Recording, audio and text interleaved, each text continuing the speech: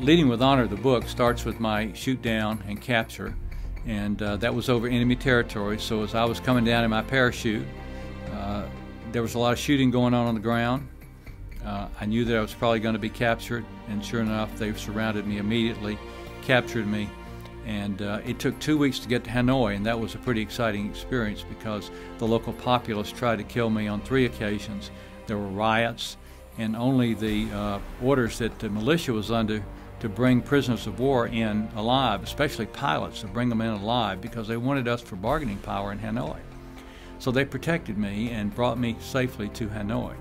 I was also uh, involved in about four bombing attacks and strafing attacks by our own airplanes who were uh, riding the roads, so to speak, or flying up and down the roads looking for trucks hauling supplies into the south.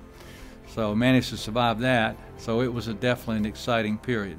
Once I got there, I was put in a room six and a half by seven feet with three other prisoners who had come in.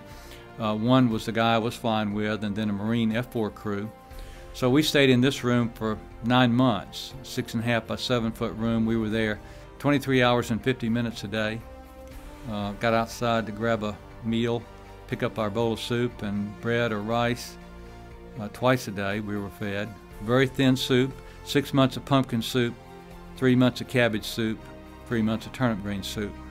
I was glad to be a country boy because my cellmates from Long Island, New York, they didn't take to that fare quite as well. It was more difficult adjustment for them.